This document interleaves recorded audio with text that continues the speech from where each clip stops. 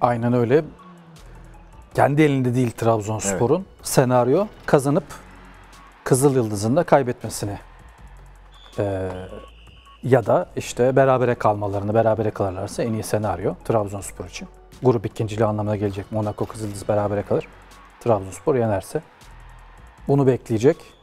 Ee, tabii yeni statüyle ilgili bir şey daha ekleyeyim. Şimdi Buyurun. bu sezon Trabzonspor Türkiye Ligi şampiyonu oldu ama playoff turunda elendi. Yeni statüde Avrupa Ligi şampiyonu da kendi liginden bilet alamaz e, alırsa yani Avrupa Ligi'ni şampiyon bitiren takım kendi liginden de bilet aldıysa Şampiyonlar Ligi'nde yine bir kontenjan boş kalıyor. O kontenjan da bu turda elenen takımlara verilecek 2024-25'ten itibaren. Yani bu turda işte Trabzonspor gidemedi Şampiyonlar Bodo Glimt gidemedi, Kızıldız gidemedi, Karabağ gidemedi galiba dört takım. Dördünden biri o hakkı elde edecekti. Yani statü değişiyor. Bir şekilde bize faydalı olma ihtimali de var. Belki de o takım Trabzonspor olacaktı.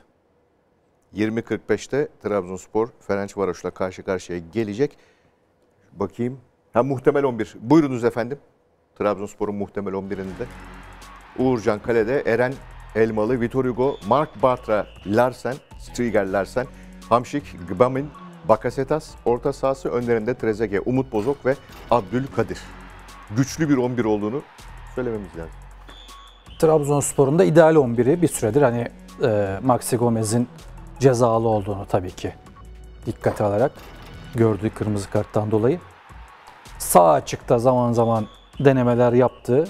Abdullah Hoca Bartra'yı denedi, Yusuf Yazıcı'yı denedi.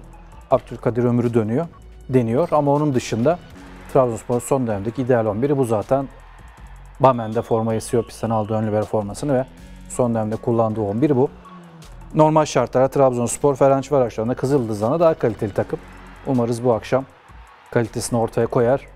Diğer maçtan da netice umduğumuz şekilde gider ve e, playoff turunda, Avrupa Ligi playoff turunda yerini alır. Tabi orada da Barcelona gibi, Juventus gibi, Ajax gibi güçlü seçenekler var. Umarız onlardan birini de çekmez tabii ki.